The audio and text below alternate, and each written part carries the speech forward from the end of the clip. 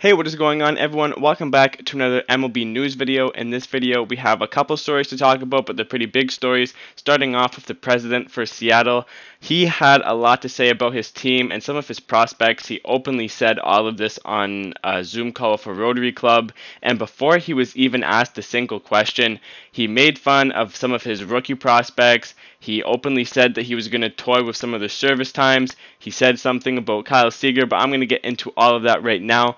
So he even said about two of his top prospects in his farm system, he mocked one of them for not knowing enough English, and the other one, he openly said that he was going to toy with his service time. That's happened to players before, like Kris Bryant and Gleyber Torres, other players like that it's just when um, the team basically gets them for an extra year and they don't have to pay them as much. So it benefits the team a lot, and that happens a lot, but it's never really said openly. So that was sort of strange um, and rude of him. But then he went on to talk about Kyle Seager, who has a team option at the end of this year, and he said that he is overpaid and they're not going to pick it up, which is extremely strange that he said that openly.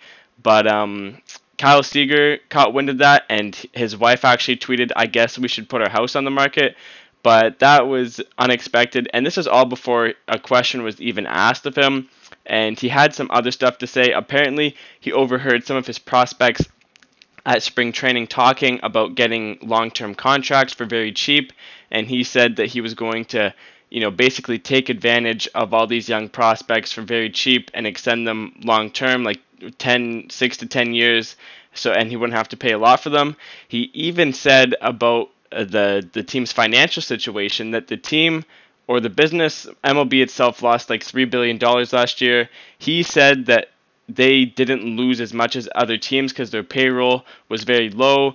There's some teams that take pride in having a low payroll, but not many of them really make it publicly that they're that proud. And then he went on to say he went on to talk about their TV deal, and he basically said that the TV deal is a lot more than what the team is producing for the TV deal. So he said uh, basically like they were basically scamming the TV company and all that stuff, which that would obviously make future negotiations really strange. So he was just going after everyone, saying that his prospects didn't know enough English. He wanted to toy with their um, time in the majors. He called Kyle Seager an overpaid player.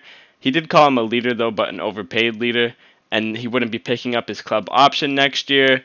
He said that the TV deal pays the Mariners more than that they're worth, and he bragged about having one of the lowest payrolls. So, a lot of stuff going on in Seattle. He has resigned from his position, but he is still co owner of the team. So, he's still going to be around, just not on TV as much.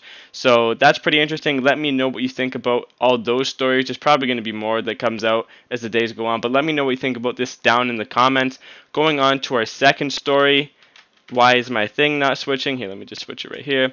We have Carlos Correa he has given the Houston Astros a deadline to give him a contract extension, April 1st. So when the season starts, Correa said that he does not want any more negotiations, and if he goes into the offseason, he's going to go in as a free agent and explore other options. So he wants the Astros. He want he said he does want to stay in Houston, but he said he wants the team to give him an extension offer before the season starts, or else he's going to test the free agent waters. Doesn't mean he's going to leave, but it means that he's probably going to get offers from other places, and some offers might be more attracting than Houston's offer, so he might end up going somewhere else. Houston, I think, needs him. Obviously, he was involved in the whole cheating scandal, but he didn't have to cheat. He's a very good player without cheating, but you know, there's the stigma that comes with it.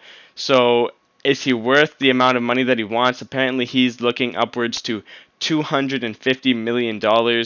I don't know if Houston would necessarily go that high with the other names on the market. They might be able to get someone else. Lindor, Seager, Correa, Story, Semien, Simmons all go on the market next year. Um, there might be some other names if I'm forgetting one, but uh, there's a lot of other options for Houston, and Correa wants to stay in Houston, but he wants the bag. So there's definitely a lot of things that are going to happen between now and then. So let me know what you think about that. Anyways, thank you guys for watching. If you're new to the channel, we post fast baseball news and other MLB news videos like this. So thank you guys for watching. See you guys in the next one.